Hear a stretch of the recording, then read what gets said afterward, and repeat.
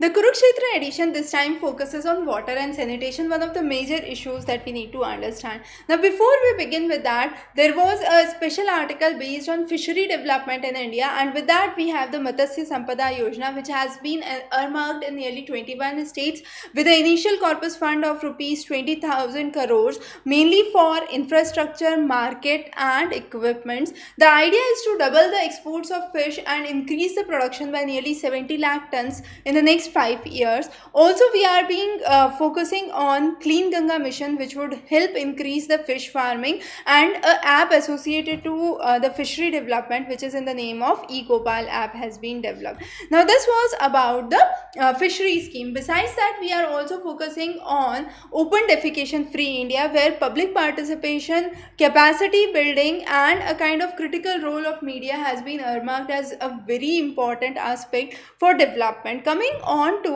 the water and the related issues. Now over the years we have seen that piped water supply is lacking in most of the households. So Jal Shakti Abhiyan under which we are talking about Har Ghar Nal Se Jal uh, would be available to all the households in rural area, rural India by 2024. Also, we are talking about Namami Gange, which we would discuss in a while in detail, which is a national mission for clean Ganga. Ganga is important because you have 43% of the population that depends on Ganga for its survival. Also, in India, we have witnessed nearly 5% of the diseases, uh, the total burden of the disease is due to waterborne diseases, of which diarrhea is one of the major causes. So, controlling and checking that unsafe water is another major issue. So we have nearly 40 times higher issues related to unsafe water than china and 12 times higher values as compared to sri lanka. Also unplanned groundwater extraction is a big issue because you have uh, reduced waters in the well contamination due to arsenic poisoning heavy metals high fluoride content. Also we have atal bahujal bhujal yojana which talks about the groundwater management of groundwater with the help of local community. It's a kind of centrally sponsored program. Uh, Niti Aayog is working with another interesting scheme which is the Composite Water Management Index and this provides an assessment for water management in the stressed areas in India. So those are some of the important aspects. Water and sanitation is important because it has been mentioned under the list 2 of the 7th schedule of the constitution and it's the responsibility of the state government to work around those. Now here are some of the schemes that we can see. Now the name of the scheme are important. In some of your exams you could have a direct list. Maharashtra you have the Jal Yukt Shivar, Mukhyamantri Jal Swabhiman Abhiyan is in Rajasthan and so on and so forth. Similarly we have uh, transplant of the saplings from nursery to the field under the Punjab Preservation of Subsoil Water Act. Similarly, in Maharashtra, groundwater development has been notified uh, has been uh, focusing on drilling of deep wells in the notified as well as the non-notified areas. In Andhra Pradesh, you have water uh, resource information and management systems where piezometers are attached to the bore wells and the groundwater has been improved by nearly 2 meters. In Maharashtra, we are talking about water entitlement transfer which is in the name of WET scheme and the wastewater reuse certificate WEC. So two major schemes again in Maharashtra. Uh, Internet of Things has has been used for metering uh, then you have artificial intelligence that has come into play sensors based on iot have been incorporated in ma many of the locations now coming on to what can be actually done how can we strengthen this issue of water? So first of all we need to make water as a part of economic development. The best the benefit cost ratio should be greater than 1 then you have introduction of water markets at large scale. Now the murray darling basin in australia the model of that can be replicated in many places. Pollution tax should be imposed which includes a severe tax on water pollution uh, and this should be levied onto the industries there should be uh, this should be a part of the extended producer responsibility. Also there should be strategies for public private partnership and water management mainly uh, the model based on the Thames Tide river. Uh, the next is the rejuvenation of ganga. So we have four programs that are part of it Nirmal Ganga, Aviral Ganga, Jan Ganga and Gyan Ganga. So let's understand the sub-components of each of those. The Namami Gange project has been implemented under the National Mission for Clean Ganga. You have nearly 315 projects which are associated to it and uh, you have 7 IITs who have been working together for the Ganga River Basin Management Plan. Now Nirmal Ganga which talks about unpolluted flow focuses on sewage infrastructure, uh, fecal sludge disposal, industrial pollution, solid waste management, talking about rural sanitation, uh, quality of water and monitoring of water, mainly the dissolved oxygen, the biological oxygen demand level. So that is all part of your Nirmal Ganga. Under the Aviral Ganga or the uninterrupted flow, flow we talks we talk about afforestation, biodiversity, ecological uh, flow, conservation of Gangetic dolphin and other uh, animals associated in the nearby areas, sustainable agriculture and small river rejuvenation program.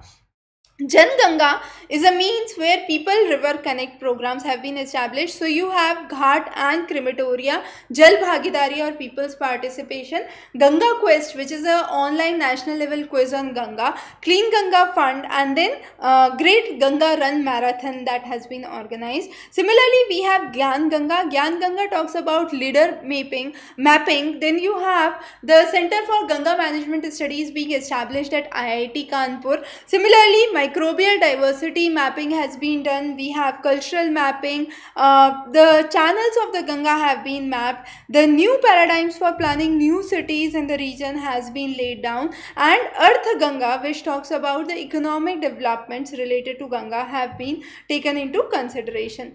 The next is when it comes to uh, the water mission, we have the Har Ghar Jal or the Jal, uh, Jal, Jal Shakti Abhiyan, which, which has been the main focus of the government for providing piped water supply to all the rural households by 2024. Now this has led to establishment of Ministry of Jal Shakti in 2019. In India, we have nearly 60 crore people who face acute water crisis and 2 lakh people die every year due to unsafe water conditions with 4% of the uh, with 18% of the world population and 4% of the renewable water resources india's issue for water crisis is very very severe. We have seen a nearly 6% gdp loss because of the water scarcity that has been seen and providing piped water supply has been one of the major area uh, aims. So far in rural areas it's only 11% in urban area it is 40% piped water supply that has been provided. And moreover if we talk in uh, simple terms 1 in 11 household has water supply that is there also, statistics reveal by 2020, uh, 2030, Indian industries will use four times water than at present. Uh, so, conservation of water becomes very very important. Saint Tiruvalluvar who had rightly said if water starts disappearing the natural process goes into disruption and eventually the civilizations would come to end and this is the process that would lead to total destruction. So emphasizing proper water supply uh, efficient delivery of water proper quality in village infrastructure and creating a Jal Jeevan Kosh becomes very very important. The next important aspect that we would understand is the Swachh Bharat mission. Now we have the following developments that we have seen. In 1954 we had rural sanitation program which was part of the first five year plan.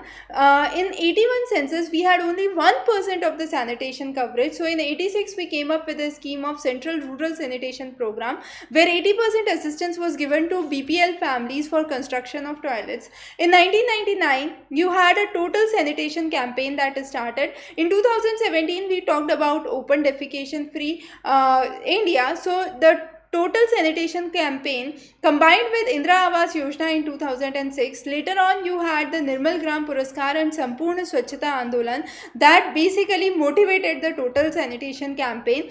And in 2012, we came up with Nirmal Bharat Abhiyan. Uh, the aim was to increase sanitation availability and this focused on renewed strategy and saturation approach, 100% access to toilets by 2022 and this was launched along with Manrega scheme in 2014, we came up with Swachh Bharat Mission. There were two versions for it, the Grameen version for rural areas and the urban version. Now, Gandhiji believed that cleanliness is the responsibility of oneself and that is the best way to remove untouchability from the society. So everyone is his own scavenger. That's what he popularly said. And his even the first satyagraha focused on the concept of sanitation that started in south africa. So sanitation and the issues related to sanitation are indeed very very important. Coming on to the safe water supply in 1999 we started with the department of drinking water supply under ministry of rural development 2010 this was renamed as department of not only drinking water but also sanitation included. And 1991 we focused on drinking uh, water mission renamed as rajiv gandhi national drinking water mission. And worldwide 21% of the diseases are due to waterborne infections. All the communicable diseases of that 21% are due to waterborne diseases. Now the proportion of safe drinking water in rural areas is around 82 however it's 91% in urban area. Nearly 30 million people suffer from waterborne diseases and this has led to loss of 73 million working days uh, every year that we have seen. Also 66% of the solid waste that is there is being processed and 90 96% of the ward practices for door-to-door -door collection of solid waste has been taken into account. Uh, as per the re ratings recently, the rankings in the aspirational districts recently, uh, Bhupalpalli has been among the leading ones. The next important thing is health.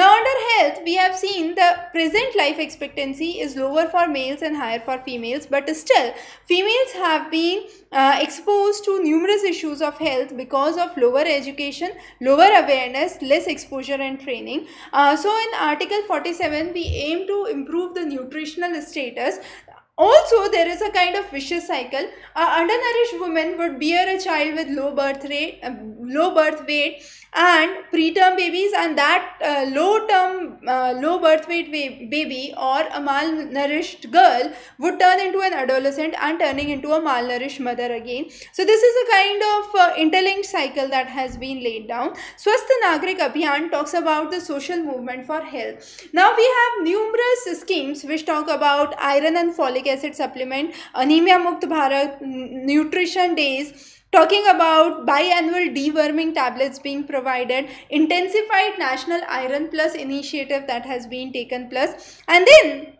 under the National Health Policy 2017, uh, we have given priority to various uh, issues which include Nirbhay Nari. Then we have the goal of attaining life expectancy of 70 years by 2025, uh, MMR of 100 by 2020. We are also talking about 90s to 90s to 90 target for HIV that is 90% of all the people living with HIV should know their status.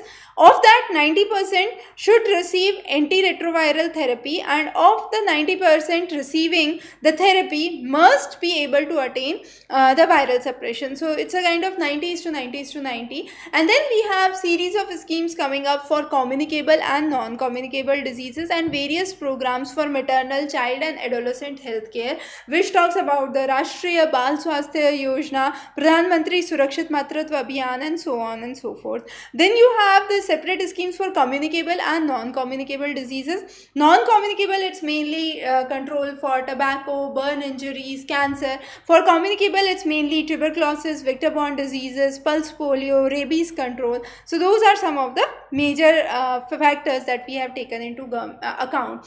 And the last most important topic that we would be focusing is decentralized government. Now decentralized government started in 1215 uh, and this was by the Democratic Foundation and called as the Magna Carta of England. So it started back in England and thereafter participatory development became a major theme. Now under this participatory development decentralization was the theme. So there were three elements of decentralization decentralization that were focused. These elements was first of all was deconcentration. Now de deconcentration is the weakest form of decentralization where central government merely shifts the responsibility to the regions or the grassroots level. So it is the weakest form the next is delegation. Delegation is transferring of responsibilities of the public function to semi-autonomous bodies. And the last one is devolution. Uh, devolution is the strongest form of decentralized governance that we say where central government basically functions uh, create is an authority making body for decisions finance and management of local units with a well-defined structure that is there. The next is uh, in India how this decentralization started. So we had the Balwant Rai Mehta committee which talked about three levels the village, block and district. Later on Dantwala committee started the block planning in 1978. Under Manrega scheme we talk about 100 days of minimum guaranteed employment with at least 50% of the total work to be taken care by Gram Panchayats through participatory planning approach approach. Also, we have Ajivika or the National Rural Livelihood Mission in 2011 which aimed to cover 7 crore rural poor. Deen Dayal Gramin Kaushal Yojana talked about skill development. So, the Panchayati Raj institution talks about the Gram Panchayat block and Zilla. Gram Panchayat is the lowest level consisting of a single village or the cluster of adjoining villages. You have five constituencies under which it is divided and the body of the elected persons is known as Gram Panchayat. Next to Gram Panchayat, you have the Block Panchayat. Block Panchayat is also known as Panchayat Samiti and here you have a group of uh, villages coming together to form a block. And this is where you have the block panchayat. Next to block you have the zilla panchayat or the district panchayat which is each zilla would have one zilla parishad or what is known as the district panchayat. So this is the structure of the decentralized government system in india. Now this structure of decentralized government we have already covered in our ncrt's uh, political science class 6 to 12 so i definitely recommend you just go back and check out all all the NCRTs for social studies that we have covered very very important and many of those have direct bearing of the questions for your examination. We would be covering Yojana and Kurukshetra on a monthly basis along with fortnightly editions of Down to Earth. So stay tuned for many more updates from our side. Have a wonderful day ahead.